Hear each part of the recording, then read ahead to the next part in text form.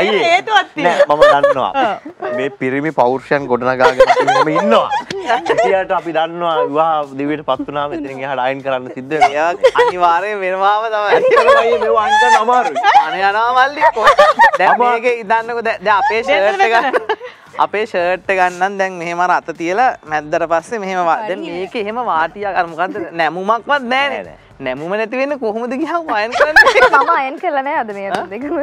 ඒ අරයා බිසි වෙන්න නැත්නම් එයා අයන් කරගන්න. මාර අමාරුයි සමහර ඇඳුම් තියෙන හිතා ගන්න බෑ. කොහෙන් පටන් අර කොහෙන්.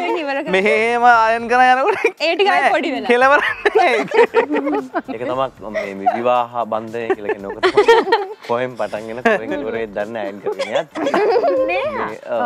මොකද ඇයි ඇයි ඒකනේ හොඳ එක දැ සූරයා?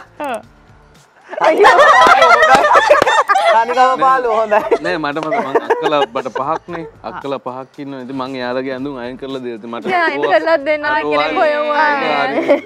මටත් වෙලා තියෙනවා ඒක. මැරි කරේ නැතත් නැත්තෝ හොඳයි.